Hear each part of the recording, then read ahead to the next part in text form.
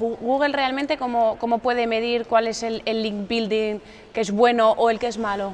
Pues porque si yo recibo un enlace o una mención de un sitio que tiene muchos enlaces y menciones de sitios relevantes en una cadena, al final, eh, si quien habla de mí mm, lo que tiene son enlaces negativos, es que tú hables de mí en negativo, es dime con quién andas y te diré quién eres. Si de ti habla gente con poca relevancia, eh, significa que ellos, los que le enlazan, son de poca relevancia y así a su vez, hasta que al final se hace una cadena y eso es lo, lo importante, que sean sitios buenos. Llevas tiempo metido en esto, eh, a lo largo de los años, ¿cómo ha cambiado el SEO? ¿Cómo ha cambiado también el link building? Porque Sí. supongo que ha cambiado. Sí, es una pregunta que, que está muy bien, porque realmente, o sea, Google eh, ciertamente va mejorando sus.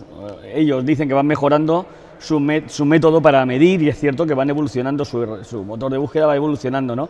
Entonces lo que pasa es que el SEO que le ha cambiado muchísimo este trabajo es el SEO que lo que intenta hacer es engañarle a Google qué es lo que no pilla hoy, qué es lo que no pilla hoy. Cuando Google de pronto pilla eso, pues le perjudica. Entonces tiene que buscar otra cosa que no vuelve a pillar. Es, yo siempre digo, Google no ha cambiado las leyes, o sea, es como si no cambiaran las leyes, sino que ha mejorado la policía.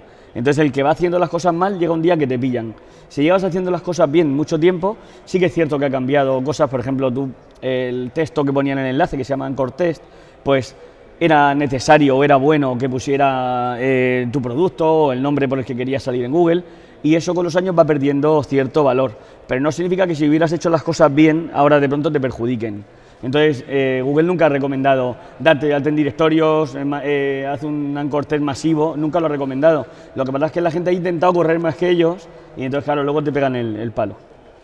Eh, ¿Cuál es el motivo que tú crees por el que Google realmente sigue premiando el link building a pesar de lo que comentábamos, ¿no? que, hay, que hay tanta gente que ha encontrado la trampa, ¿no? la manera, ¿cómo, ¿por qué lo sigue premiando? Y, Bueno, lo que te digo, que es, eh, son máquinas y una máquina sepa lo importante que tú eres, eh, la mejor manera es saber si se habla mucho de ti, tanto en redes sociales, en sitios de relevancia.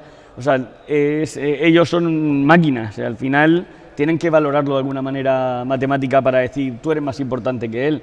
Y para eso pues utilizan los enlaces y otras señales, ya te digo, desde redes sociales, eh, otro tipo de cosas que van añadiendo y que van mejorando, pero evidentemente todavía es importante saber quién te menciona, incluso ahora pues eh, quién menciona tu marca, eh, o sea, es importante relacionarte no solo con enlaces.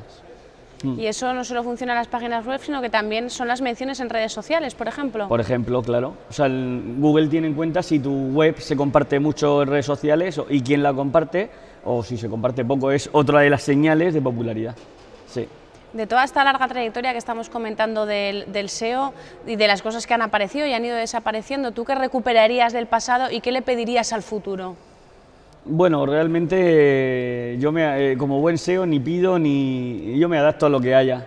No, no tengo problema. Yo creo que sí me gusta que el que ha hecho las cosas mal se le penalice, eh, sobre todo porque suelen ser sitios de baja calidad que al final se han forzado los resultados y yo creo que el buen SEO, la gente que hace las cosas bien debe premiarse, por lo cual si evoluciona correctamente deberíamos de premiar estos SEOs que hacemos un SEO, intentamos hacer un SEO sano, por decirlo de alguna manera.